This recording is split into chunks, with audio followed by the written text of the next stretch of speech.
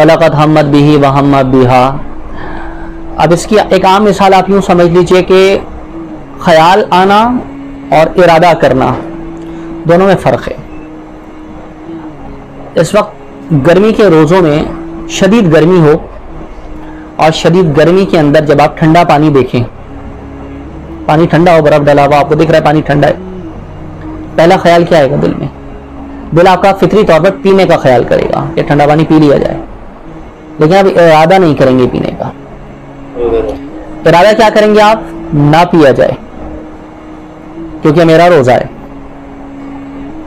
ठीक है? जो ख्याल दिल में पैदा होगा, वो क्या पैदा होगा? पानी को देखते ही गर्मी के मौसम में पीने का। ठीक है?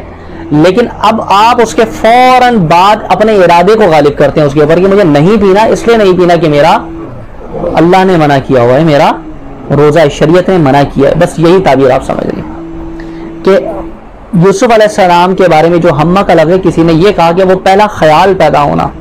और वो ख्याल ये कि उन्हें उन्होंने अल्लाह से कहा कि अल्लाह मुझे अगर तू इस गुनाह से महफूज फरमा ले, अगर तू महफूज नहीं फरमाए तो मैं मुबतला ना हो जाऊँ।